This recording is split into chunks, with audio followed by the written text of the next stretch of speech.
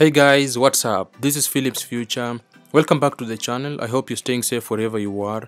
And so today I'm going to show you how to customize your Android phone to get this minimal look that looks clean yet functional on my opinion and also help you focus on what matters the most.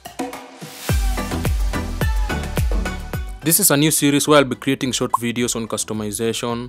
So if you have a better name for the series, drop a comment down below. Anyway, let's kick off. So the first thing you wanna do is download a launcher that will let us get this minimal look. I found one that does just that, so go to your Play Store, search for Niagara Launcher and install it.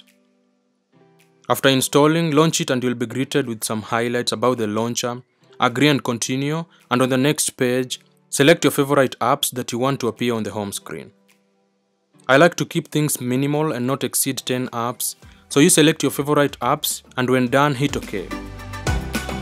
For me, I'd pick Twitter, stock messages and phone apps, Instagram, YouTube, WhatsApp, Gallery, Google Chrome, and a music application because I use those apps the most on a daily basis.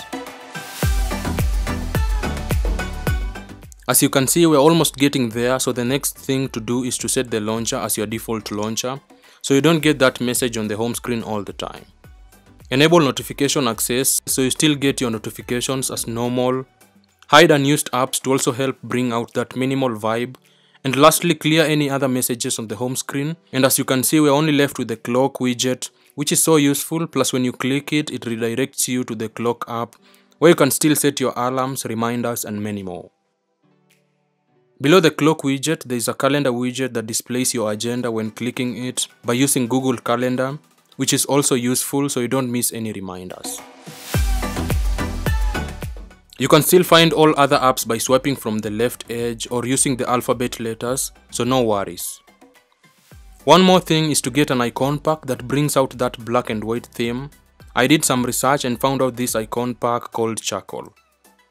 There's a link plus other links to the resources below the like button, so go ahead and get that icon pack because we need it. Once downloaded, open it and apply it. There you go. And now one last thing is to get the wallpaper that matches the whole black and white vibe. Luckily I got one for you so you don't have to do it. There's a link to the wallpaper or if you have Resplash app that contains copyright free images, you can search for any black and white wallpaper and set it as both home screen and lock screen wallpapers. There you go. As simple as that, you get that clean, black and white, minimal and unique look that your friends will keep asking how you got it. I hope you like it because I do and I'm going to rock this look for quite some time.